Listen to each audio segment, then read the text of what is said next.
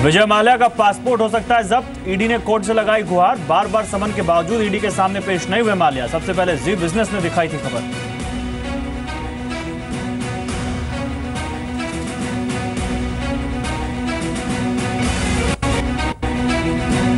Panama leaks मामले में आयकर विभाग ने शुरू की कार्रवाई। साढ़े तीन सौ लोगों को एक हफ़्ते में भेजे जाएँगे नोटिस। वित्त मंत्रालय के सूत्रों के हवाले से खबर 50 लोगों को भेजा जा चुका है नोटिस। अच्छे मानसून अनुमान और बेहतर आईआईपी आंकड़ों की वजह से बाज़ार में तेज़ी। सेंसेक्स चार सौ इक्यासी और निफ्टी 141 अंक चढ़ा। मेटल बैंकिंग और ऑटो शेयरों में जोरदार तेज़ी।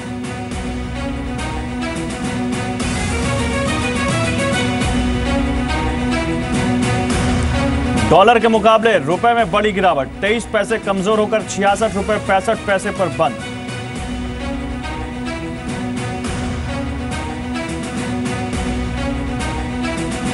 सरकार ने 70 दवाओं के दाम घटाने के लिए जारी किया नोटिफिकेशन कैंसर के इंजेक्शन की कीमत भी तय। नेशनल फार्मा प्राइसिंग अथॉरिटी को भी मंजूरी।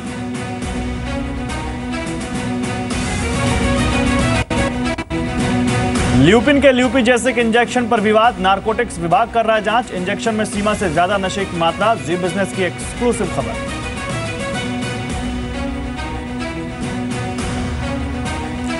सेबी चेयरमैन की नियुक्ति पर सुप्रीम कोर्ट में अर्जी मंजूर। याचिका में कानून के उल्लंघन का आरोप। अगले हफ़्ते होगी मामले की सुनवाई।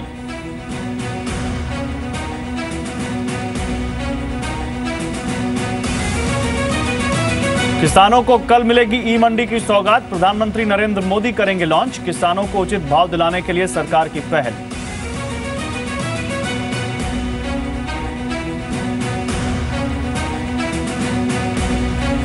नोएडा में यूनिटेक की ज़मीन की नीलामी पर नोएडा अथॉरिटी ने लगाई रोक। अथॉरिटी का यूनिटेक पर ढाई हज़ार करोड़ रुपए का बकाया। एलआईसी को मई में करनी थी ज़मीन की नीलामी।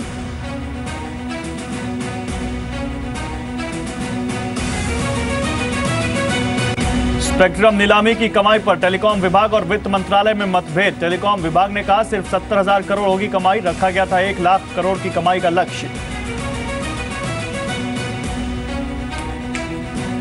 रिटेलर्स की ई कॉमर्स में एफडीआई की जाँच की मांग ईडी को लिखी चिट्ठी।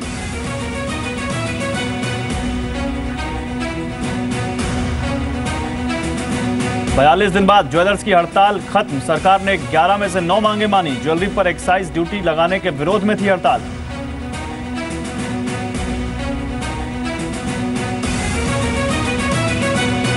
बीसीसीआई पर बॉम्बे हाईकोर्ट का बाउंसर 30 अप्रैल के बाद के सारे आईपीएल मैच महाराष्ट्र से बाहर शिफ्ट करने का आदेश, पानी की बर्बादी रोकने के लिए बड़ा फैसला।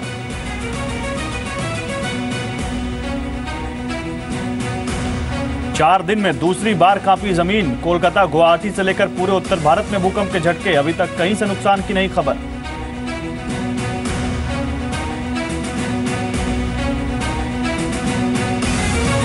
दिल्ली के बाद अब गुड़गांव में भी लागू होगा ऑड इवन सात दिन के लिए लागू करने की तैयारी, तारीख पर अभी फैसला नहीं।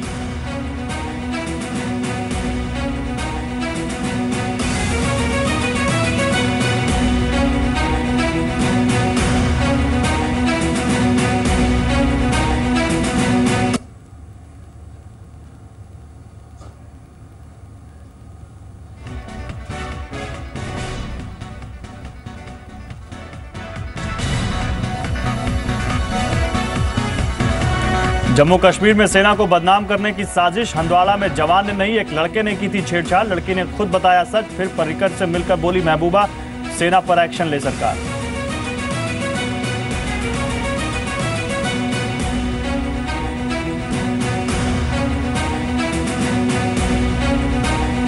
पाकिस्तान से वतन लाया जाएगा भारतीय कैदी। कृपाल सिंह का शव विदेश मंत्री से मिला पीड़ित परिवार। सुषमा स्वराज ने दिया जाँच का भरोसा।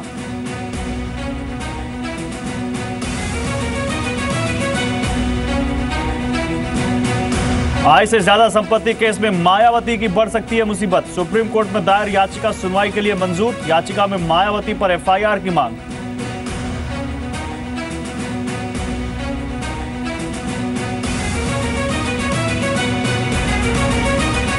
गुजरात के बीजेपी सांसद नारायण काछड़िया को तीन साल की सजा। तीन साल पहले एक डॉक्टर से की थी मारपीट। सेशन कोर्ट ने पैंतीस हज़ार का जुर्माना भी ठोका।